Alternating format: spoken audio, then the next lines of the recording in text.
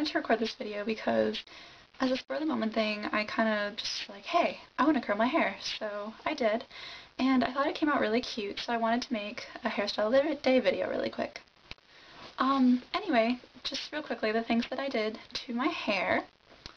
Um, when I got out of the shower, I just put some of this through, my good old Garnier Fructis Anti-Frizz Serum. Almost out of it, I need to get more. Um, so I put that in and I brushed through my hair and I scrunched out water with a t-shirt, all those things I normally do.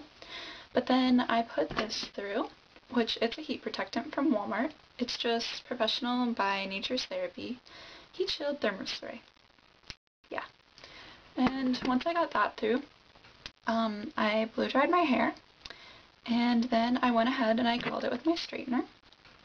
It's just a GVP. It's from Sally's.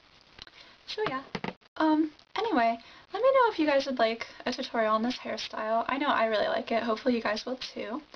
I'm thinking of doing a holiday makeup look, so maybe I could do like a holiday hairstyle with it, and then, you know, you guys will have something to go off of for like a party or whatever else.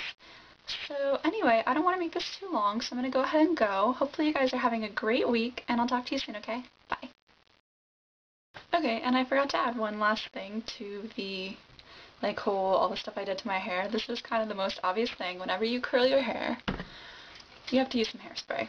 Um, mine is from Pantene, the thick line. Shocker, right? Because everything I use is pretty much from this. Um, it's worked pretty well. My curls have only fell out a little bit today, and it's still really nice. And hey, I live in Florida, so it's really humid, and I'm glad they stayed all day. So yeah, um, anyway, talk to you guys soon. Bye.